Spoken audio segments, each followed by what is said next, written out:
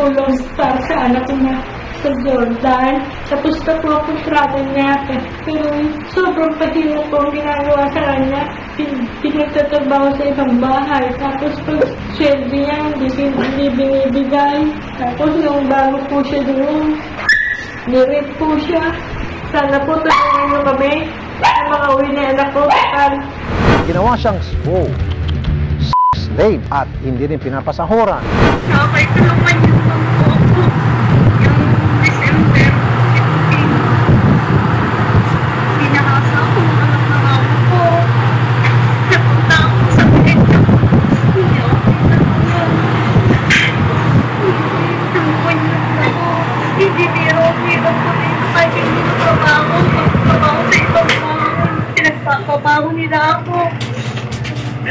Pati paghilod sa katawan, ako pa. Paglilimas, paglilimas ko ng saksiyan, ako pa. Lahat ng trabaho pinagagawa sa akin, hindi ko na kaya. Gusto ko na makauwi. Tulungan niyo naman ako. Hindi biro. Pag umiiyak ako, sinasabihan nila akong baliw. Tulungan niyo ako. Tapos na ako batok, pero ayaw nila akong pauwiin dahil wala daw aeroplano. Kaya nagpapahatid ako sa embahada natin. Ayaw nila akong ihatid. Hindi ko alam kung bakit. Tulungan niyo naman ako. Nasa linyang telepono ang kanyang representative dito sa Pilipinas, si Nanay Carmi. Nanay Carmi, magandang tanghali po. magandang tanghali po. Nanay Carmi, Opo. nakakalungkot po itong balitang ito at the same time, nakakainit ng ulo. Opo. Nasaan po yung anak niyo, ma'am? Nasa Jordan po. At kailan niyo po huling nakausap to? Ito lang po binidyohan namin siya. Okay. At ginawa siyang sex slave. Anong ibig Opo. sabihin po nito, Eh, ma'am? ang problema po, may sakit pa yung lalaki. Nagpagamot pa po yung anak ko. Sarili niyang gastos. Opo, ngayon na siya nakapagsumbong. Ba't di siya nagsumbong noon pa para na-action sana natin? Sana nandito na siya ngayon sa Pilipinas. Noon pa po, yung kaya lang po, sabi niya, pagtitisan niya yung trabaho. Kasi yung anak niya, naalala niya, namatay pa yung tatay. Oh. Namatay po yung tatay. Gaano katagal na po itong ginagawang kahalayan sa kanya ng kanyang amo, ma'am, Carmi? Nagsimula po yung December eh. Pag nangangati po, pinapakita yung kanyang ari. December pa po last year. Opo. Okay. At ang nangyari, kapag nangangati siya, ginagalaw niya Pinapakita po yung kanya.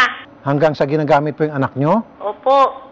Hindi yung nakapagsumbong po yung anak nyo. Simula po nang tumira siya doon, hindi po siya pinapalabas ng bahay. Ni, tele, ni cellphone po, ayaw siya payagang bumili. pero ngayon, ma'am, paano siya nagkaroon ng access sa cellphone at kayo po ay na-contact niya? Mabi- maigi po, mabait naman yung anak na bakla. Napagamit siya ng cellphone pero nakabantay po silang lahat. Pag umiiyak siya, tinatawag siyang luka-luka. Oh, okay. So, hindi po ito nakarating sa agency or maging po sa ating mga kinukulan sa Jordan, lalo na po sa ating polo. Opo. Gano'n nakatagal po sa Two Jordan? years po ang contract niya eh. Finish na po siya nung May 3. Pero ma'am, ayoko yung mapauwi lang dito yung anak nyo. Dapat po maparusahan tong amo. Nung una pong na-rape siya, tumawag siya. Ni-rape daw siya. Tapos mga ilang buwan po, nagkasakit siya. May sakit pala yung lalaki. Na ngayon, siya pa ang nagpagamot sa sarili niya. Hindi siya tinulungan. Okay? So, nung nagpagamot po siya, hindi tinanong ng mga doktor. Kasi lalo na yun sa Muslim country, I'm sure alam ng mga doktor na yung sakit niya, Oo, yun ay sa lalaki.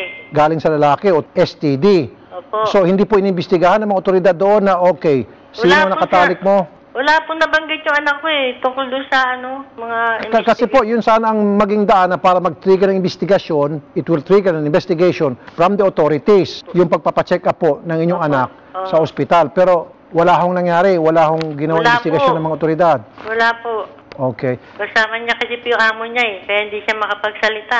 Pero magaling naman po siya ngayon sa sakit. Sa ngayon po, magaling na siya dahil sa napagamot niya yung sarili niya. Okay. Kailan po pumunta ng uh, Jordan itong anak niyo po, ma'am? May 3, May 3. 2018. Ilan pong anak nila? Apat po. Sige po, finish na po contract. Kailan po nag-finish yung contract? May 3. Ah, May 3. Okay. So, dinadala pa siya sa ibang bahay ngayon, pinagtatrabaho. Oh, shoot. Ibig sabihin, pinapahiram po. Opo, pinapahiram pa siya sa ibang bahay. Hirap O- na nga sa bahay nila, papahiram pa sa iba. So, two years na po siya walang sweldo, two years Opo. na po siyang hinahalay, sex slave, and then after that, nung May 3, expired yung contract, pinagpapasapasahan po siya sa iba-ibang amo. Opo. Okay, sige po.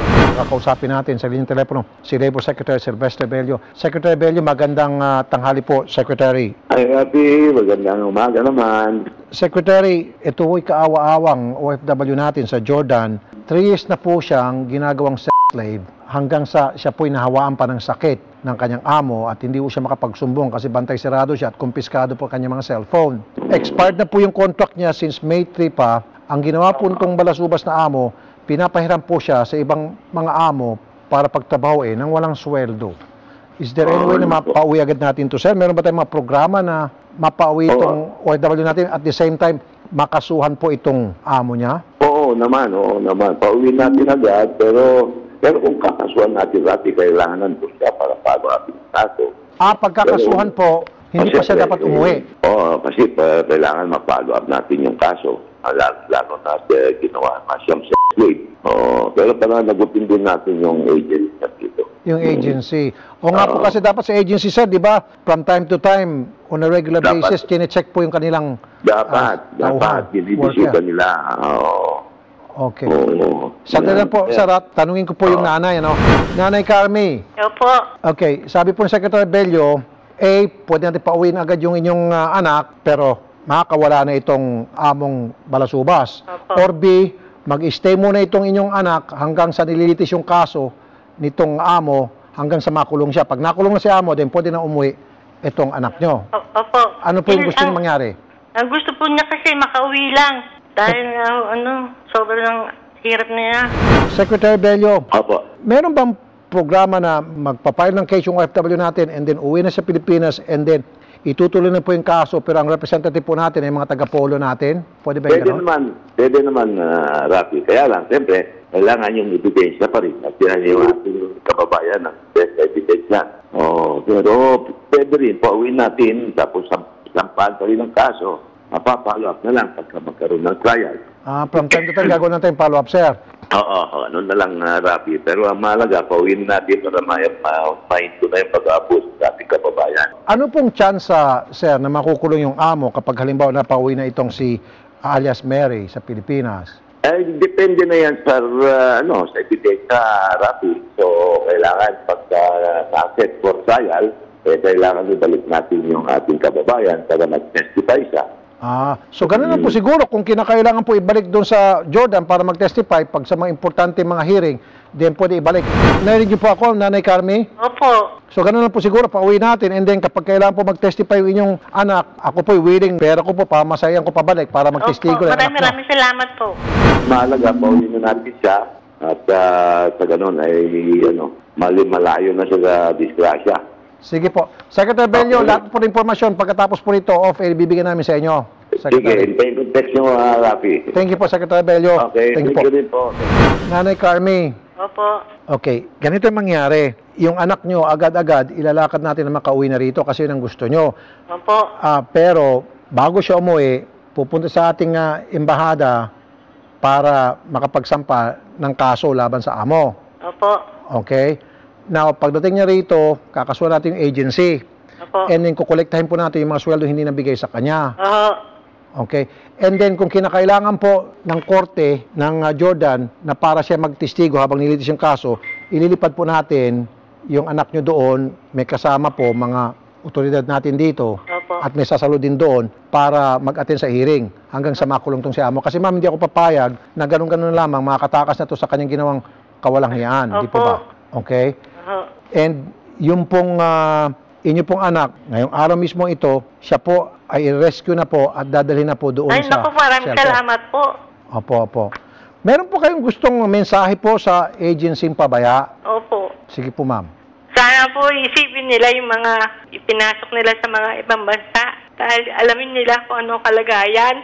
Gusto niyo po magmensahe kay alias Mary, ipaparating po namin sa kanya ito, yung mensahe niyo po. Gusto niyo po manawagan sa kanya. Opo. Sige po. Anak, magtis-tis ka na lang sandali. At kukunin ka na ni, ni Sir Tapi. Ngayong araw. Mawawala na yung ano mo. Alala, maliligtas ka na dyan. Nahihirapan ka na masyado kasi kaya hindi kami mapalagay sa yung ginawa sa'yo. Huwag kang mag-alala, tutulungan ka ni Sir Rapi. kukunin ka nila ngayon.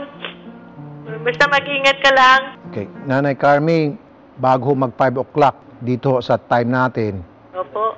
magbibigay kami ng update sa inyo. Opo. Hopefully, hindi po matapos yung araw na ito, na-rescue na po siya. Ay, naku po, maraming maraming salamat po. Opo. Babalikan po namin kay Nanay Carmi. Maraming salamat po. Ingat po kayo palagi. bless. ako po dapat magpasalamat. Malaking tulong po ang ginawa nyo. Kami po nagpapasalamat sa inyo dahil sa inyong tiwala. Sige po, Nanay Carmi. Opo, God bless salamat po. God bless po. Thank you po. Thank you.